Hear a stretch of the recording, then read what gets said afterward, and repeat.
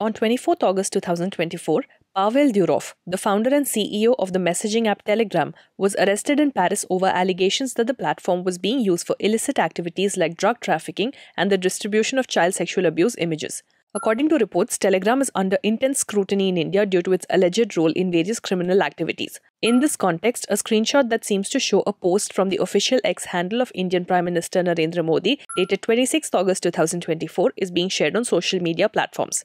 In it, Modi apparently denounced the news of a Telegram ban in India, assuring students that the platform will not be banned. A search on Modi's official X account did not yield any such post shared on 26 August 2024. Also, there are discrepancies between the viral screenshot and actual posts made from this account. Further, social media analytics tools like Social Blade indicate that Modi only shared 6 posts on 26 and 27 August 2024. All of these are currently visible on the account. These findings suggest that the viral post never existed, ruling out the possibility that it was deleted. Moreover, mainstream media should have covered such a public announcement by the Prime Minister widely, but we could not find any such reports. Such an announcement would also have been issued as an official press release on the website of the Press Information Bureau, but no such communication is available on the PIB portal.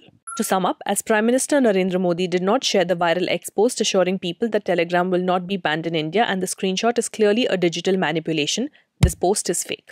Join our YouTube membership program and be a part of the journey of making public data meaningful. And remember, before you hit that forward button, pause.